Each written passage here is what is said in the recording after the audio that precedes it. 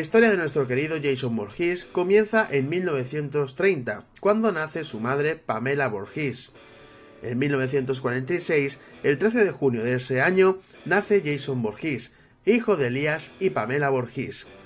En 1957, Jason Voorhees se ahoga en el lago del campamento Crystal Lake. No se encuentra el cuerpo del niño nunca.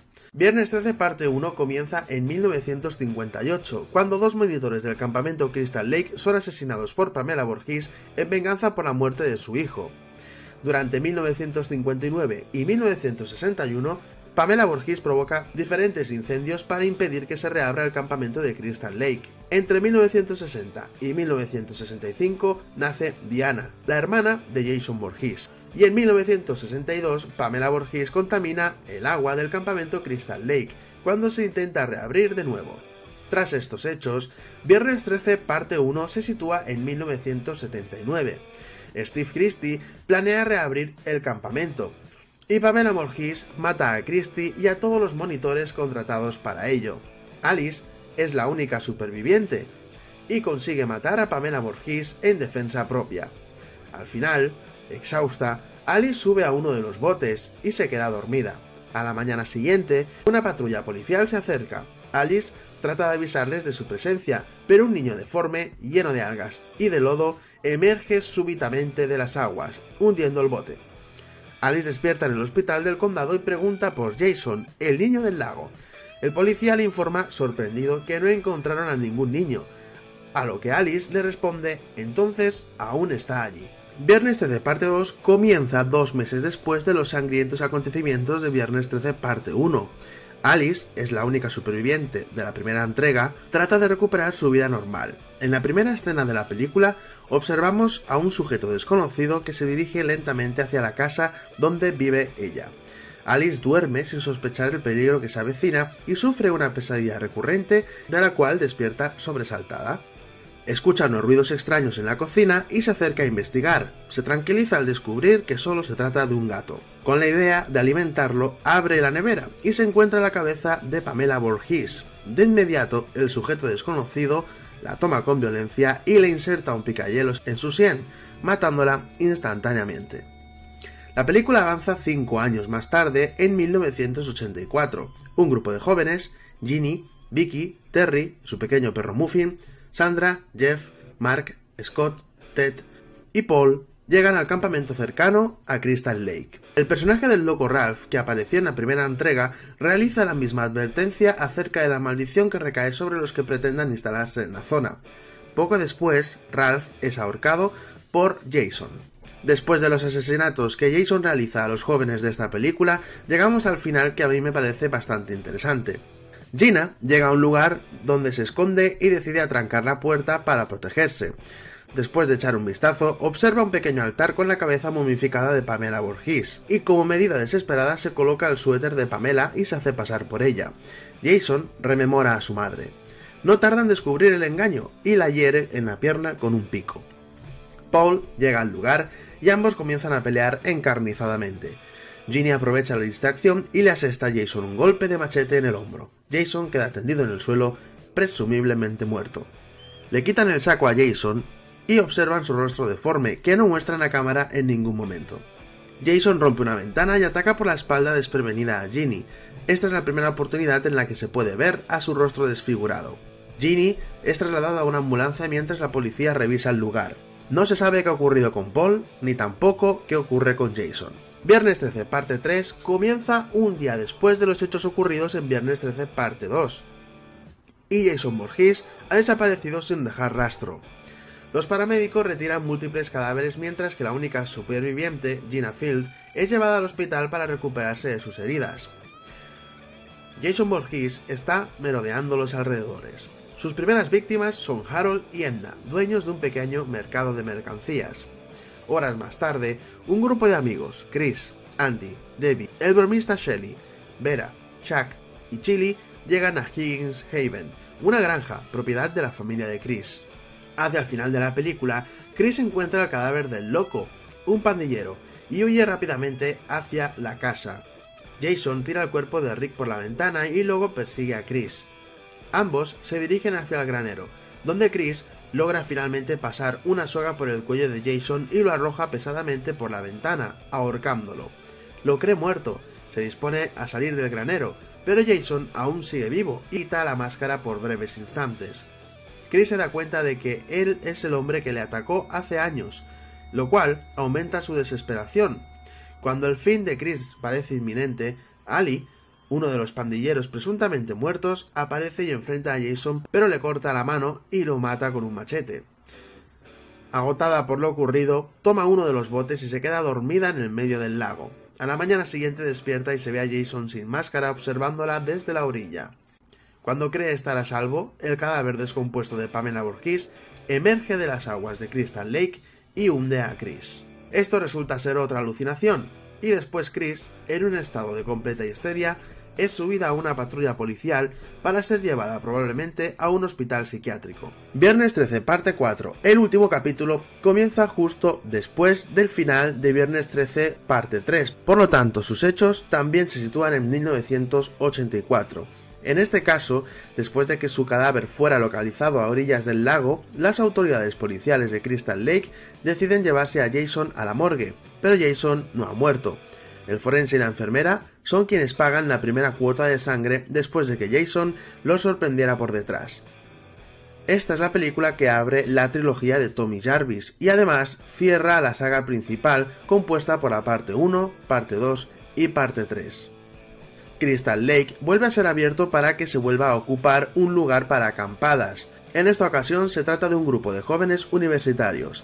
Además, también están viviendo allí la familia Jarvis, la madre, la hija mayor Trish y el hijo menor Tommy, de 12 años.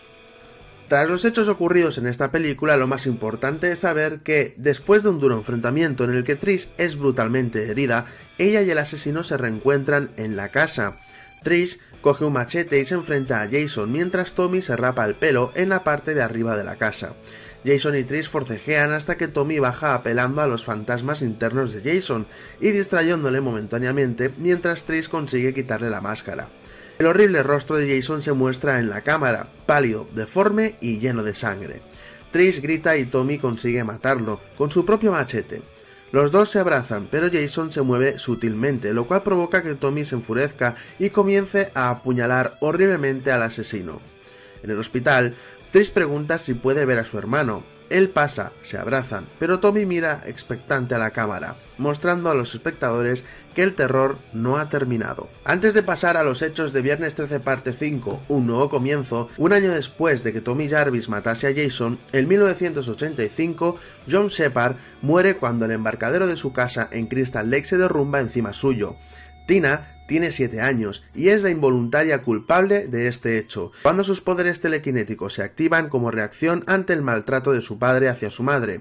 También, antes de los hechos de un nuevo comienzo, en 1986, justo un año después de lo ocurrido con Tina, Rennie Wickham sufre el ataque del espíritu de Jason Borges cuando su tío, Charles McCulloch, la tira al lago Crystal para que aprenda a nadar.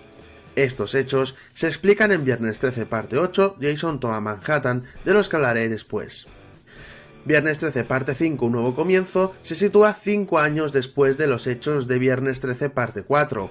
En esta película Tommy Jarvis tiene 17 años y se sitúa cronológicamente en 1989. Tommy es trasladado a un campamento para adolescentes huérfanos, rebeldes y con problemas mentales coordinado por Matthew, un psicólogo cuyo pensamiento se basa en dejar a los chicos en libertad de acción y que puedan vivir a su manera. Él coordina a los jóvenes junto a su bella ayudante Pam. Después de que uno de ellos, Joey, es asesinado a hachazos por Vic, otro joven interno, comienza una sucesión de asesinatos que atormentan al campamento de la mano de Roy, un inadvertido paramédico y padre del joven asesinado, que utiliza la leyenda de Jason Borges y lo imita en todo sentido para desviar la atención de la policía. Tommy, mientras tanto, debe enfrentarse a sus fantasmas para así poderse enfrentarse a Roy, con ayuda de Pam y el pequeño Reggie. Al final, Tommy le corta la mano y Roy se cae. Se cae su máscara y se demuestra que no es Jason. Jason había muerto en la parte 4 a manos de Tommy. Seguidamente, Tommy agarra un cuchillo, se pone la máscara de hockey y mata a Pam, pero no se sabe si esto es un sueño o es la realidad. Entre los años 1989 y 1990, las autoridades deciden cambiar el nombre del pueblo Crystal Lake por el de Forest Green, en un intento para poder deshacerse de la malísima fama que han traído consigo todos los crímenes de Jason Voorhees. Viernes 13, parte 6. Jason vive se sitúa 7 años después de los eventos de la quinta parte. En esta entrega Tommy Jarvis ya tiene 24 años, por lo tanto, haciendo cálculos, la película se sitúa en 1996. En este caso, huye de otro instituto psiquiátrico para terminar de una vez por todas con la amenaza de Jason Voorhees. Con la ayuda de su desprevenido amigo Allen, se dirigen al cementerio donde está enterrado con la intención de quemar sus restos. Una vez desenterrado, Tommy, furioso por todos los sufrimientos que le causó a él y a su familia, toma un barrote de la cerca del cementerio y lo clava en el cuerpo de Jason. Para mala suerte suya, la barra metálica es alcanzada por un rayo que resucita a Jason Voorhees. Jason asesina al aterrado Allen, atravesándole el corazón solo con un sumano, lo que evidencia sus recientemente adquiridos poderes sobrenaturales y su fuerza sobrehumana. Tommy sube a su camioneta y huye rápidamente. En esta entrega tenemos al zombie Jason, que deja un reguero de víctimas en su camino de regreso a Crystal Lake, que ahora, como comenté antes, se llama Forest Green. Jason va eliminando uno a uno a un grupo de jóvenes entre los que se encuentra Megan, la hija del comisario del condado, que decide reabrir el mencionado campamento y traer un contingente de niños y niñas para comenzar la nueva temporada. Solamente Tommy, con la ayuda de Megan, podrán detenerlo. Tommy atrae a Jason al lago y tras una lucha encarnizada, le ponen alrededor del cuello una cadena con una pesada roca atada al otro extremo. Al romperse el bote en el que estaba Tommy, Jason se hunde irremediablemente en las profundidades de Crystal Lake. En la última escena, se observa el cuerpo de Jason, que está esperando a volver en la siguiente entrega. Viernes 13 parte 7 La Nueva Sangre inicia en el pasado, en 1985, y nos cuenta lo que os he comentado antes de la pequeña Tina, una chica que por error, a través de sus poderes telequinéticos, mata a su padre. 11 años después, en 1996, y en el mismo año donde suceden los hechos de Viernes 13 parte 6, se sitúan los hechos de Viernes 13 parte 7. Parece que la calma ha vuelto a Crystal Lake. Tina Shepard llega al lugar con su madre y su psicoterapeuta. Ella lleva los últimos 10 años encerrada en un centro psiquiátrico debido a la depresión que sufrió al matar accidentalmente a su padre con sus poderes telequinéticos. Tratando de hacer algo bueno, usa de nuevo este poder para intentar revivir a su padre, cuyo cuerpo quedó perdido en el lago donde Jason está hundido y que se ve al final de Viernes 13 parte 6 sin darse cuenta, resucita a Jason Voorhees, quien emerge de las aguas. Jason Voorhees matará a unos chicos ricos que han llegado al campamento. Solo ella puede detenerlo por medio de su extraño poder, la telequinesis. Esto crea una lucha entre Tina y Jason, en la cual, al final, ella usa su poder para revivir a su padre y que éste tome a Jason del cuello con una cadena y lo sumerja de nuevo hasta el fondo del lago Crystal Lake. Un año después de los hechos ocurridos en Viernes 13 parte 7, es decir, en 1997, tiene lugar la película Viernes 13 parte 8, Jason toma Manhattan. Esta película inicia con dos jóvenes que practican sexo en un yate que navega por el lago.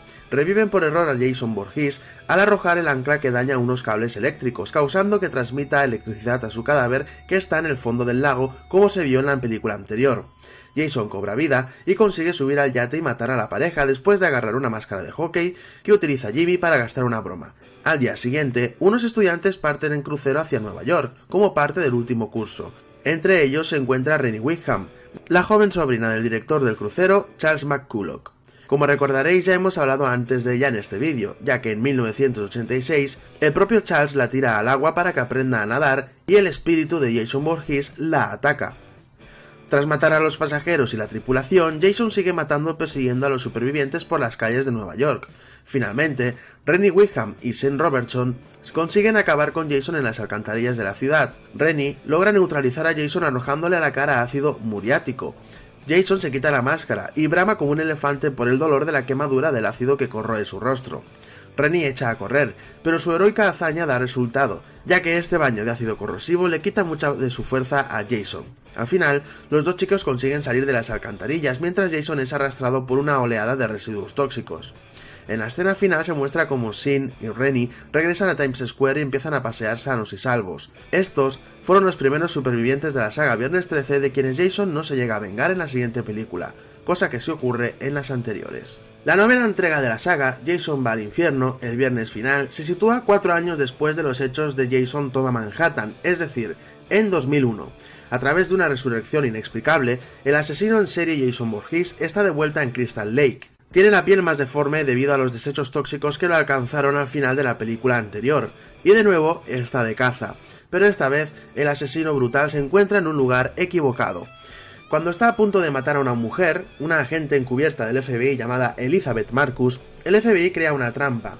Después de un intenso tiroteo, le lanzan un explosivo desde un mortero y Jason vuela en pedazos, ocasionando su muerte y sus restos son enviados a una morgue. Mientras analiza el corazón de Jason, es hipnotizado por él y empieza a comérselo, siendo poseído por el espíritu de Jason. Con su nuevo cuerpo, Jason procede a matar a un trabajador de la morgue y un par de agentes del FBI. Ahora, el espíritu oscuro de Jason Voorhees salta de un cuerpo a otro a través de una serpiente demoníaca que se le interpreta como el alma sanguinaria de Jason, que sale de la boca del cuerpo poseído. Vamos a centrarnos ahora en Jessica, que llega a la casa y se encuentra con Duque, quien le da una daga especial y le explica que, con ese cuchillo, ella es la única que puede acabar con Jason, ya que ella es de su familia. Landis llega a la casa. En ese momento Duque se cae por unos tablones viejos cayendo a un piso inferior. Jessica piensa que Landis es Jason, por lo que no confía en él. Randy también se hace presente en la casa, por lo que Duque le dice a Jessica que no confía en ninguno de los dos y que debe matarlos. Al escuchar esto, Landis intenta quitarle la daga a Jessica, pero esta reacciona y lo mata. En este momento, queda claro que Jason tomó el cuerpo de Randy, quien toma al bebé e intenta un ritual para renacer, pero llega Steven para impedirlo, al herirlo en el cuello. De esta herida sale una criatura extraña que intenta atacar a Steven, pero este lo empuja, cayendo al lado del cadáver perdido de Diana, con la cual por fin podrá renacer. ¿Quién es Diana? Se trata de Diana Kimball, hermana de Jason, que es asesinada por este mientras posee el cuerpo de un oficial de policía en un intento de renacer de nuevo. Cuando Jessica, Steven y Duke se preparan para salir de ahí, aparece Jason con su cuerpo original atacándolos y matando a Duke. Steven, enfadado, se enfrasca en una dura lucha contra Jason, mientras tanto Jessica busca la daga y cuando la encuentra se la clava a Jason. En ese momento, unas manos salen de la tierra y atrapan a Jason, en lo que se interpreta como que se lo llevan al infierno, de ahí el título de la película.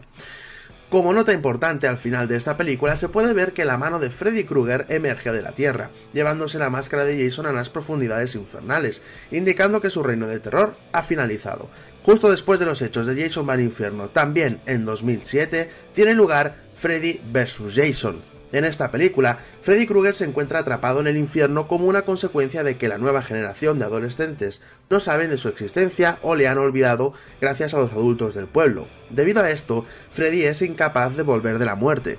Determinado a hacer que lo recuerden y le teman, localiza a Jason Voorhees, el asesino de Crystal Lake, en el infierno y se disfraza como Pamela Voorhees, la madre de Jason. Él convence a Jason a levantarse de nuevo e ir a Springwood a asesinar adolescentes. Aunque Jason nos matará, Freddy será culpado y así el miedo creciente le permitirá recuperar sus poderes. Conforme Jason va matando a adolescentes, Freddy se está dando cuenta de que está perdiendo el control sobre Jason.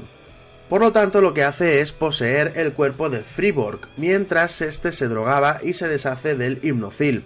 Jason electrocuta a Stubbs y es confrontado por Freddy en el cuerpo de Freeburg, quien inyecta a Jason con dos frascos de tranquilizante, pero Jason parte en dos a Freeburg antes de caer inconsciente. Ya dormido, se encuentra con Freddy en el mundo de los sueños, donde Freddy pretende deshacerse de él porque ya no lo necesita, pero le resulta difícil gracias a la gran resistencia de Jason para recibir daño. Antes de que Freddy logre matar a Jason, Lori entra en el mundo de los sueños e interrumpe esa pelea, causando que Jason se despierte en el mundo real e intenta atacar al grupo. Freddy, enfurecido, intenta matar a Lori en el mundo de los sueños y le revela que él fue quien mató a su madre, y no su padre como había creído anteriormente. Will lleva a Lori dormida a una cabaña cerca del lago Crystal Lake para tratar de despertarla. Jason ataca al grupo y causa un incendio en la cabaña. Justo cuando Freddy se encontraba a punto de violar a Lori, esta logra traerlo al mundo real, lo que da inicio a una nueva pelea entre los dos, en donde Jason tiene más ventaja. Freddy y Jason continúan su batalla. A medida que la pelea progresa, Freddy gana ventaja sobre Jason hasta el punto en el que se encuentra a punto de matarlo con su propio machete. Lori y Will hacen explotar tanques de gas en el muelle para matar a Freddy y a Jason. Cuando el fuego empieza a extenderse, Jason arranca el brazo con garras de Freddy y Freddy clava el machete de Jason en el pecho de este. La explosión resultante envía a los dos al lago. Freddy sale del lago para intentar matar a Lori y a Will con el machete de Jason, pero antes de hacerlo Jason ataca desde atrás a Freddy con el brazo con cuchillas que le arrancó y después cae al agua. A la mañana siguiente, Jason sale del lago llevando su machete y la cabeza cortada de Freddy, que sonríe y guiña un ojo a la audiencia. Jason X inicia la película un año después de lo sucedido en Freddy contra Jason. En 2008, una nueva operación del FBI logra la captura de Jason Voorhees y es condenado a muerte. Al descubrirse su inmortalidad, se decide estudiarlo con fines militares. Finalmente, en 2010, Jason se encuentra encerrado en una prisión diseñada exclusivamente para tenerlo en cautiverio cerca de Crystal Lake, esperando una nueva sentencia. Por otra parte, Rowan LaFontaine, una investigadora gubernamental encargada de la futura criogenización de Borges, es informada por el coronel que Jason será trasladado a un laboratorio con el fin de investigar su mutación. Rowan se niega. El coronel no la escucha y se dirige a la celda de Jason solo para descubrir que éste ha escapado y ha acabado primero con la vida de los guardias que se encontraban allí y después con la del propio coronel, quien es asesinado frente a los ojos de Rowan. Ella corre a la cámara criogénica a tender una trampa a Jason. El plan funciona, Jason queda atrapado en la cámara y ya se ha iniciado la secuencia de criogenización. Desafortunadamente, Rowan es atravesada por el machete de Jason, y esto provoca el cierre hermético de la habitación, con lo que ella queda atrapada en sueño criogénico junto con el psicópata. La película vuelve a adelantarse en el tiempo y nos lleva al año 2455. Los cuerpos congelados de Rowan LaFontaine y Jason Voorhees son descubiertos por un grupo de estudiantes y son llevados a su nave espacial, la Grendel. Mientras vuelan de regreso a Tierra 2, Jason resucita y empieza a eliminar a los tripulantes de la nave. Jason provoca suficientes daños en la nave como para asegurar su destrucción, Rowan y un estudiante son rescatados por la nave Tiamat. Los cuerpos de Brodsky, encargado de la seguridad, y de Jason se queman al entrar en la atmósfera de Tierra 2. Los restos de Jason caen cerca de un lago.